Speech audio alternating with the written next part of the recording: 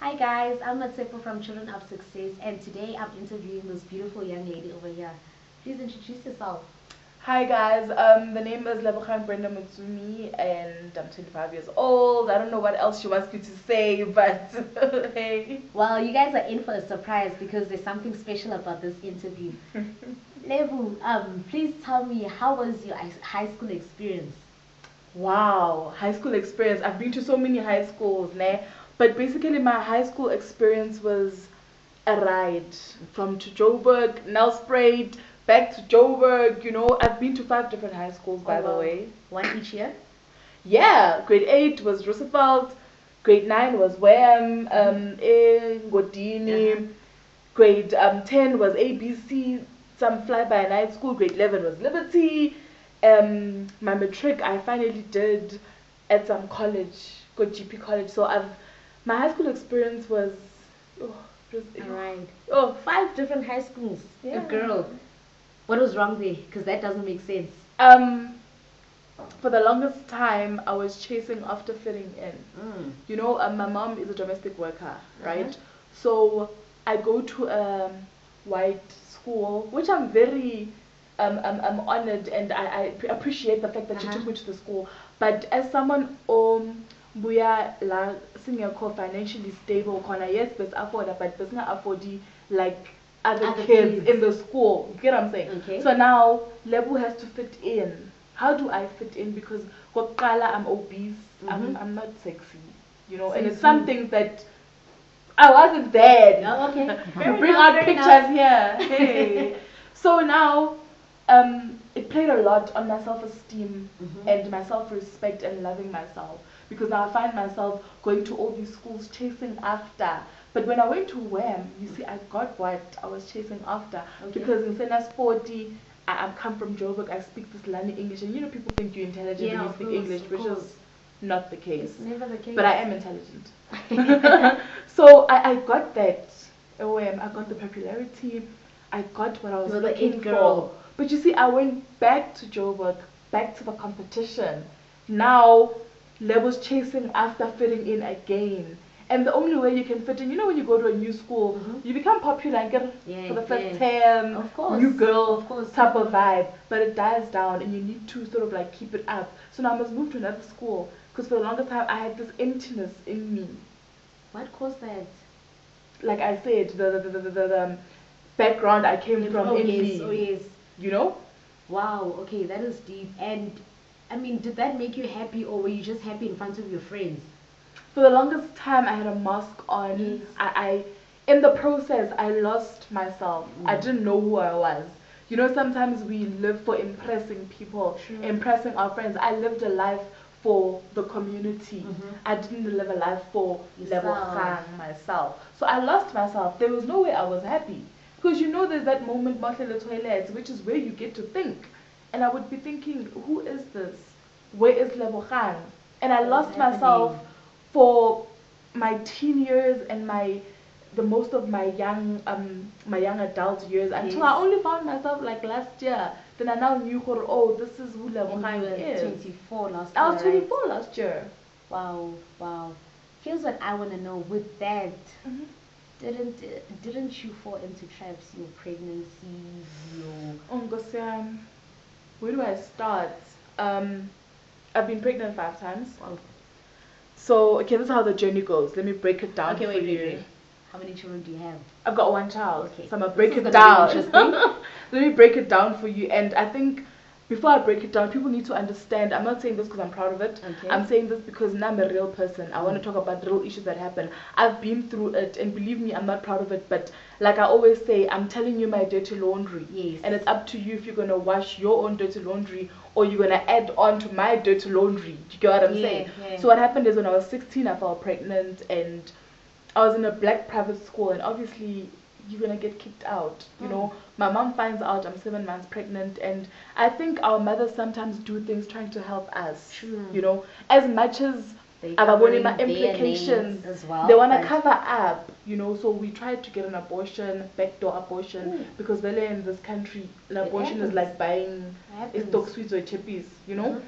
so um i went to a backdoor abortion which was very traumatic very traumatic. Did you do you that know? alone or with No, mom? my mom was there, Okay. you know, and it didn't work.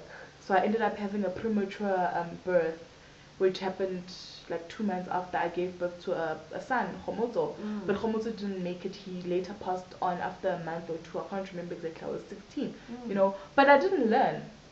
Yeah, that's what. Like I'm listening to you now. That's your first pregnancy. You were. I would have supposed to. You were supposed to. You know? Like No. for me, I wouldn't say you were abnormal, but any Mm. normal person, that's when you come to your senses and you feel like, you know what, this life that I'm living is just not working out. But I Who am I trying to impress because I'm suffering on my own? I now I'm putting like you saying your mom was your mom is a domestic worker. Mm. Didn't you realize that you know what? I'm killing both of us now. I'm not killing my myself You know, only. I always say when you're doing something, it is so right to you. Mm. because that's what you are seeing that's what you're exposing yourself to it's like when you are a drug addict Mhm. you're exposing yourself to drugs and you don't see how wrong it is so mina bengifeva feva was right for me yes. do you get what i'm saying like you You know didn't care about you know what anyone we do as girls like when we're growing up mas feva now it's a competition True. who's doing it better True. so i was caught up in that adolescent stage which is just papa and liking things you know what i'm saying Mhm. so at 17 i fall pregnant again Mm. that's Baby number 16 two. baby number two and what do i do uh, Still not with the same guy, different school now. different school different guy this guy who, who who even left me with something else you know Mm. impregnated me and I got an abortion because Upigile is not his child No, and me I must think of my future again. And I aborted the child. You know? you one brave person, eh? I aborted the child and it was traumatic. I'm not gonna lie and say I'm talking about it because I've dealt Yes. with yes. those emotional issues and whatnot. Even though sometimes it does catch up, I'm not gonna course, lie. human. It catches up. Human. Sometimes I feel dirty. Sometimes I feel like, oh my god, how could you do that? But I went through it for a reason, so I can be able to sit here and share this with you. You know what I'm saying? 17, like I did, I So aborted. sorry. 18, did Lebo learn? No. Ngithi, Mhm. Obviously, I'm gonna fall This, pregnant. is, this is who you are I'm not now. using a condom. Sex to me, hey. I fell pregnant again at 18, and what was my option? It's a Nigerian guy. I'm now dating other You've been through it, different. You've been through it. Like I, I've got, I've got a doctorate from life. Oh. Like life Nice gave me a doctorate. She's got a doctorate. I've got a doctorate from life. Like there's nothing you can tell me about I haven't been Mm. through. You know, and um, I aborted 18. He's Nigerian. He's not ready for a baby. Whatnot, whatnot. It's easy. He gives me 750. We go. We abort the child. Did Lebo learn? No. I got pregnant at 19. The same guy, the Nigerian guy. That's the only good thing about it. We got Same pregnant guy out of again. all of it all. and we had an abortion. And did I learn? No. My mom has given me the last chance to, to, to do my matric. I think one thing that I'm liking about this story is that now when she got to be with the Nigerian guy, it was a proper relationship. Before I even asked her that, she said we fall pregnant. Mm. With most most teens, it doesn't happen that way. Mm-mm. I, I fall pregnant. Where's your baby daddy? He's nowhere to be found. So do carry on. so at my mom was giving me the last chance now because I was very rebellious. Mhm. She's like, listen, um, it's 29 Mm-hmm. now. Um, had I stuck to school, I was supposed to have finished matric in 2007. Mhm. It's now 29. I'm supposed to be doing my second year in varsity. Had I Yeah, if you Lived, right, if you can you know, and she's like, listen, um, kwakho it's too much now. So it's either we're and you get your matric and you pass your matric. Mawfaila, I'm gonna find you a job, cleaner, eh, you know, with me in my Mhm. kitchen. So I had to make up my mind. living the life that you were living, there was no one how that you'd be a cleaner. But did Lebo learn? No. I did go What is wrong with Lebo? Like, by the time I didn't do pa pa and trying to fit in and trying to prove to your friends. And you know when you are told that you are beautiful, Mm. girls we use our beauties for all the wrong reasons because wonke umuntu utshela lebo ukuthi muhle lebo now things I'm on top of the world. Yes. Every other guy around the street corner is, is, is, is stopping me and I'm now using my beauty because I'm now a trophy girlfriend. I'm Mm. now sitting in front of that beamer. I'm sitting in front of that That's whatever it is. And it'll And never it excites us. Ukabana, into le last nyalo it, it, it excites us so much and it wasn't a matter of ukuthi endlini bengingadli my mom was supporting me it's not a matter of I wasn't getting clothed my mom was supporting me Mhm. and whatever I would get from the guys whatever money I would get would be used for useless things turning it up with the girls Mm. buying them all booze and, and buying cigarettes and being popular it's, it's again trying to fit in and True. having that thing inside missing True. you mm. know what I'm saying pa pa that's the bottom way of putting it Where Pa, are pa, all those friends now? tintfo. Where are they? Where are all those friends now? Where are they? They got cars. They have the degrees. Here I am, still starting. Now I'm in Nkale Pants and lay a foundation. You know what I'm saying? For the people But like I said, trying it happened for a reason. True. You know what I'm saying? It's like, happened yeah. for a good. Sorry, yeah. So at um, where are we now? At at 20. Yeah, 20. Nkosi yami. Eh, eh, At 20. Mhm. I on that year though it was it was very traumatic. Um, I found out about my HIV status Mm. that I'm HIV positive, and I know someone's watching this and thinking, "Ah, this girl, Yeah. hey, She's hey." looking so and she's so chilled about She this. cannot be HIV positive. You need to understand. I've dealt with my emotional part of being HIV positive. I've dealt with all of this, hence I do the work that I do. We'll talk Mhm. about that later on, you know, so people can get to know why I'm able to talk about my status like this. So, ngo- 15 August 2009, time was around 1 o'clock, if I'm not wrong. I found out that I'm HIV positive. Wait, before you carry on, carry on, what pushed you to test? Oh, I need to I dated this guy, Mhm. you know, this one, this celebrity guy. You know, celebrities. Those this celebrity guy. So this celebrity guy infected me, right? Mm. I found out about his status before he died because he was on media Mhm. and whatnot. And when people read my story, they'll find out who that celebrity is, you know, because I did mention his name. I just don't want this to be about him Yeah, right no, now. of course, this is about you. And um, so the celebrity, the thing is, back then HIV nearly undercapped. You know. HIV was not for Lebogang who stays in the suburbs. That's what Mm. I thought. It was for someone lo hlala emakhaya, lo febako. Mara nami angithi bengifeba, but mina kufeba kwami It's not gonna was civilized. because you're not you like know? them. That's you get what I'm saying? thinks. So I, I thought it's not for me. I don't live in a shack. I, I, I don't have eight siblings or ten siblings. Mm. The media was telling me that HIV is for those people. Mm. Do you get what I'm saying? So I was ignorant. He told me after the Masega, when he was dying, that Mm. listen, I went around spreading this. And I need to get Intentionally. tested intentionally because he thought that that's They the, were rolling with the murderer. that's the perception people have. You know? Guti, if I spread it, I'm not gonna die alone. And if I spread it, maybe it goes amai. That's why you find a lot of people who spread it, you know? And it's feel issues about that, themselves because they feel like saying you keep it, I've given it to someone and I, else. I'm not gonna die alone. Because remember, he also got infected by by someone, someone else. else. True. So he, that for him, it made sense. I'm not gonna blame him. Yes, no, I was understand. angry. Like when you explain Yeah. it now, I understand. I think I understand where he was coming from. Not saying it's Mhm. okay, but I think I get where he's coming from.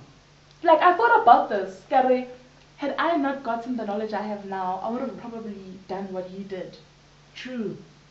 You get what I'm saying? True. So, um, my my friends told baby daddy that um, you must watch out. You know, our friends sometimes that's big, Mm, even mm. though sometimes it could be bad, Bad. But this time it worked right for me because again, the type of friends we choose, we need to know Mhm. because some of our friends really can mess us up and some can actually help us because I feel even though they were gossiping about me, they Yeah. helped me because had they not alerted him, Mm. I would have probably not gone and tested Oh, you know true. because um one morning we're messing around having morning glory whatever it's called and glory. condom burst so i think he was like oh Kane, they told me about this chick Mm. us go get tested and they can ignorant it's a saturday i'm thinking about my turning up Mm. later on in that evening What, what's sad about this is that you and the celebrity were basically doing the same thing. Yeah So with him, maybe he also thought "Ah, this girl's doing her own thing. She doesn't care about herself, so I might as well do what I do because we want the same thing. That's sad. sad no? That is sad. very sad so we went to go get tested and the lady comes with bad news and i'm like oh my god this guy is HIV positive Ta-da. Mm. ignorance Mm. What and could the be lady worse than comes that? the lady comes and says "Am i put You're HIV negative, CC. You're HIV positive. You what? But you know, Nyambeza, Yeah. conscious is like, yes, it's very much possible. Because you screwed that guy. Mm. And that guy, when I was dating him, was, he had AIDS. But because he told me he's got TB, who am I to judge him? Mm. Who am I? no doctor. And I was not educated about these things. Yes, I knew about You HIV didn't even have time for that. And you know the sad part is I remember when I was in grade seven, my LO teacher saying to us, um, in in five years, one in um, two in ten of you here will be HIV positive. I'll never forget those words. Please repeat that. My LO teacher, when I was in grade seven, was our LO class, Mr. Daniels, said to us that in five years, I'm in grade seven now. In five years, two in ten of you will be HIV positive. And when he said that to me, it didn't matter. Mm. But you see, when I found out about my status, that's the first thing that came into my mind I that I was warned about this. That's what You know? happens, guys. Because I was taught Not about something it. that you don't know about. Somebody out there already told you that no, choose to be smarter than the virus. We knew about HIV, we knew that you get it by sleeping around in other ways, Mm. obviously. But we always thought that we are smart. Mm. You know, I'm smart, I can get away with this. I'm too beautiful for that. I'm too. I am too beautiful for that. HIV. And it doesn't, I, it doesn't smell. Mm. She's a yellow bone. No, I'm not gonna go in. This one, no, is dark. I'm gonna go in. No. Mm. because people actually think they are very superior True. to this um, um thingy. So um then after finding out about my status, I was writing my prelims. I had to block that out. Mm. I blocked HIV out. I'm like, we'll deal with you, but I'm still ignorant, Of course. you know. And I must write my prelims now.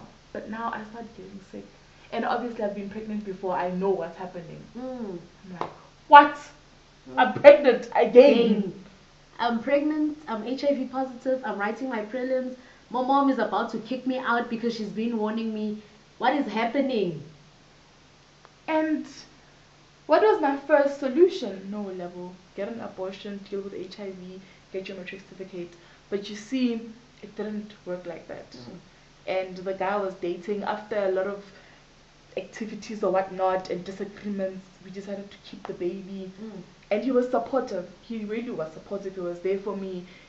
Um, I'm HIV positive, I'm pregnant. He supported me. He didn't Yeah. or whatnot, even though relationships have their Yeah, issues. Because we downs. have broken up now, you know. And he's HIV negative. My daughter's HIV negative. And I got my matric. Yay. Woo! Something good came out of this anecdote. Two distinctions. Woo! Listen to that. but then the saddest thing happened when I gave birth to my daughter on the 21st of May 2010. On that day, I lost my womb, you know? So now I had to deal with being HIV positive. I don't have a womb, I'm only 21. But then I thought of all those abortions. I thought of all those, you know? I'm not saying um I, I, I was meant to not have a womb or was meant to go okay punishment but what I did to my body Yeah, I know? feel like ignorance. I don't think you're the only one who actually does this. I feel like a lot of people, someone will be sitting and watching this. You've actually had 10 abortions. What do you think is going to happen now? Don't be crying and saying, I've lost my. Um, um, it's, it's sad, but I'm trying to say that don't be saying, I didn't see this coming or why is Mm. God punishing you while Mm. you knew what you were doing. So simply condomize so and you what don't get to that yeah and what happens to most people is bona they might um the womb will not they won't lose their womb but they'll now have miscarriages because your body is Yeah. used to holding and letting go holding and letting Oh, go so so it can lead to other implications i don't want to deal too much Yeah, in no. depth maybe we'll have another Session, session, where we just talk about abortion and whatnot but you know you need to understand that whatever you're doing now as a young person think about your future Mm. because right now I need to explain to my husband that listen, Yes. I'm HIV positive, and again, I can't give you a child because my womb was lost. Would I now ex- would I now really think that guy would stay? You I- know, I can't blame him again. It's up to him because I wouldn't Exactly. if I was a guy. Do you get think what I'm that's the one thing that I am loving about this interview is that she's being real about everything and Lebo's not only focusing on herself. She knows that listen, I wouldn't do it if I wasn't HIV positive. What makes me think that someone else would be willing to stand up for such? That's that's some real things. that is some hectic stuff, hey. So yeah, and then um, life went on. I, I'm ignorant, but not because of protocol. Hey, Mm. you're HIV positive, take your ARVs. Your CD4 count is low. You must protect this child. I did it, Mm-hmm. but I was still in denial for the Mm. longest time because what kills most media is telling me that HIV positive is skinny, losing hair, poor, etc., etc. And Lawang is none of that. I'm, I'm living in a in a flat. I'm, I'm, I'm I've got curves for days. I'm beautiful. I'm not losing hair. I'm still very much ignorant, you know, to a point whereby.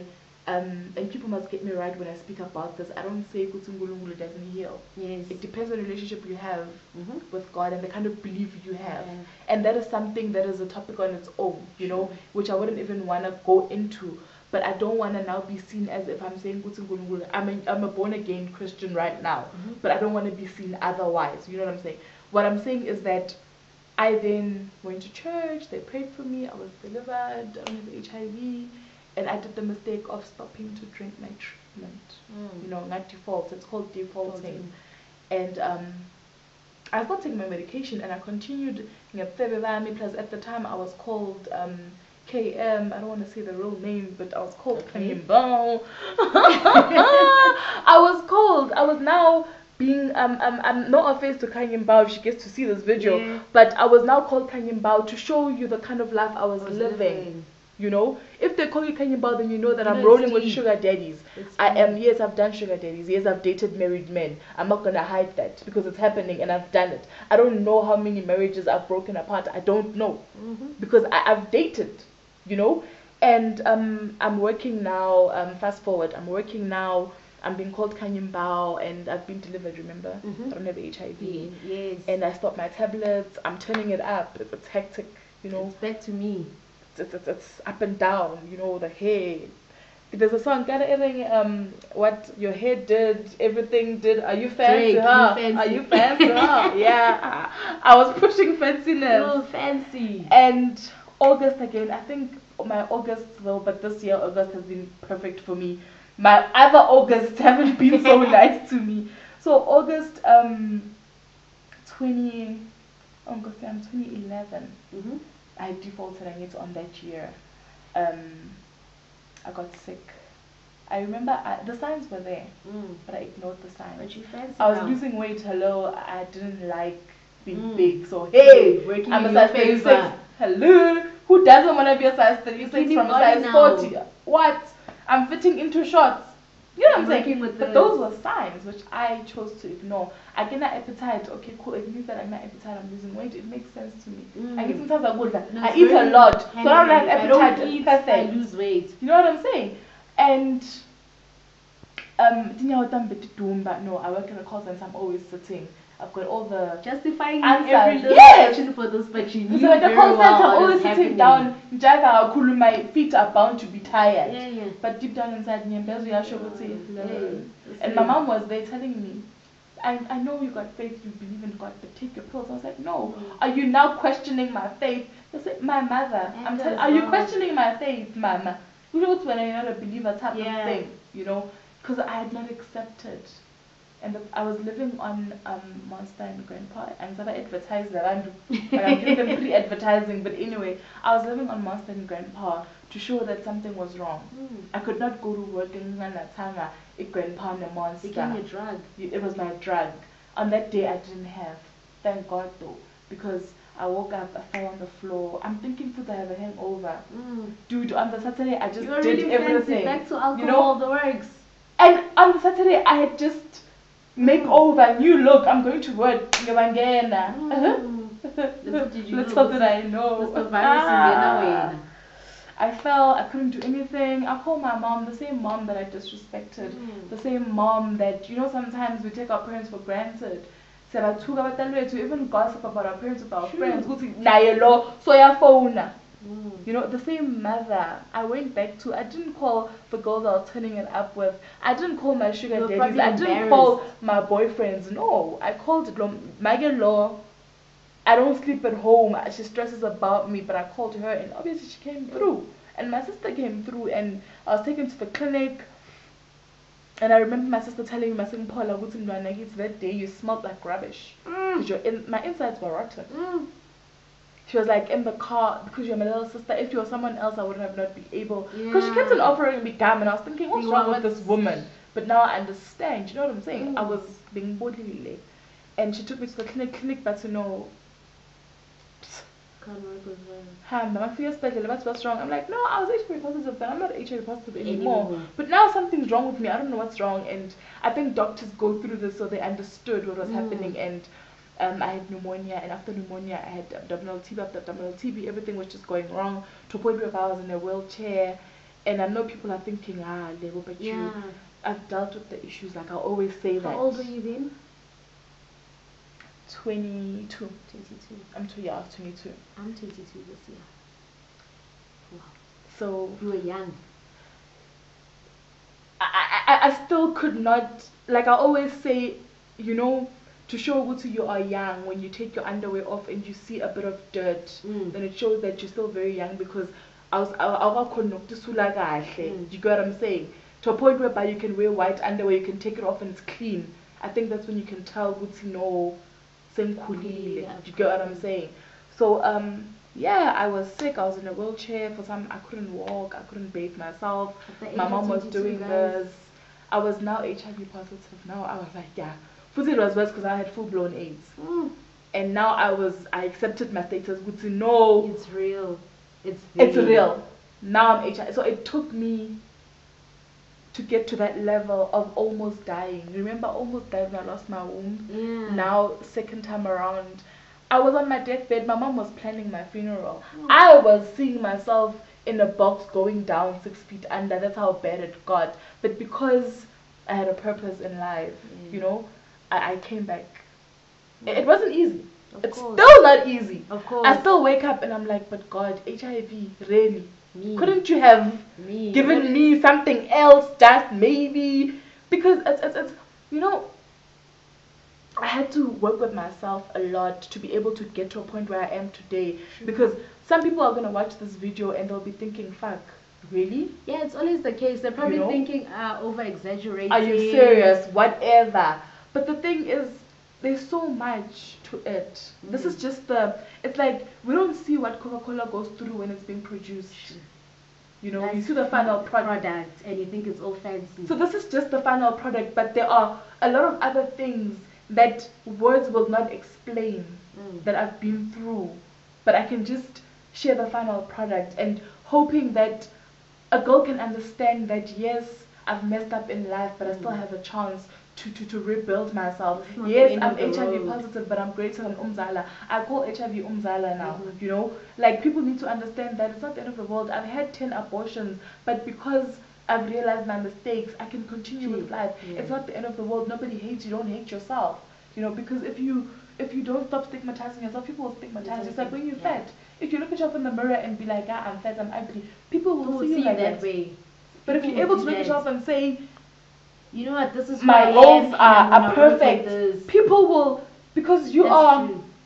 you are sending out that message, people will get that message. And I mean, at the end of the day, it's not about people. That's what most people misunderstand about It's life. it's about not. you. It is not about people. And people. until we get to a point whereby people can actually understand what this is my life and it's about me, we'll have a better South Africa, we'll have a better world. Because again, as young people, we have a big problem of thinking that it's about everyone else but yourself. yourself, and You're pleasing your teacher. At school, you want character. At home, you want character. With your friends, you want character. Character With, with your boyfriend, you want character. else. That is true. You need to get that one character that everyone will accept. You know, if you're allowed to be loud everywhere. I think it's only easier to do that if you accept yourself, and that's the problem with people because right now I want to be like Lebo, I want to Mm. be confident like Lebo, but it doesn't work that way. Mm-mm. Just find yourself. Like with you, you said that it took you like all of these years, like these journeys, and it's been seriously hard for you, but you finally found yourself. You are just raising awareness about this thing. There's no need for me to do it your way in order for me to find myself. I'm sitting here.